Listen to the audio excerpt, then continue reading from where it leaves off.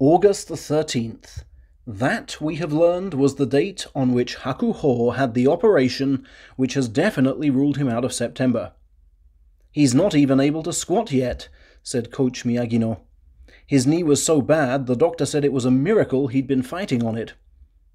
Hakuho will be continuing with his treatment for now, and might just be ready for November. September the 10th, the day on which Coach Michinoku had the talk with Kakuryu. Their bond is extra special because they had the same stable master.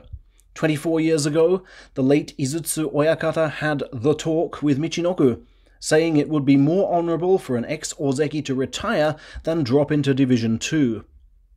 Now, after 13 withdrawals from 22 tournaments, Michinoku has a similar message for Kakuryu get it right in November, or honorably retire. We understand the Yokozuna's right elbow has still not recovered, and that he keenly wants to test himself at other stables before returning to competition. His injuries will never 100% heal, Michinoku believes. He's got to accept that, fight with what he has, and if it's still no good, then it's time to think things over. The answer should become clear to him next tournament. September the 11th, the day on which the loss of both Yokozuna handed top billing on Sunday's fight card to the Ozeki. Asanoyama against Endo, and Takakeisho against defending champion Terunofuji. I'm ready to fight the top guys whenever, said a bouncing Terunofuji. Everybody likes to think they have a chance for the title, and it will come down to who tried his hardest and who kept in the best condition.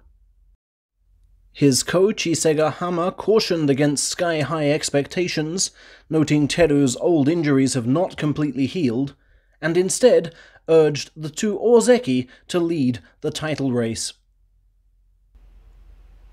September the 11th, also the day on which the final four of the 19 infected Tamanoi stable wrestlers were transferred to local hospitals.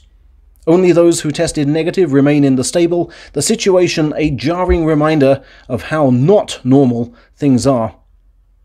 Chief Judge Isegahama confirmed that they will be given some kind of special dispensation when their new ranks are decided post-tournament.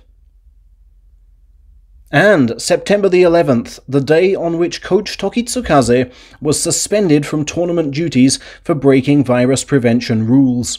We don't know exactly where he's been without permission.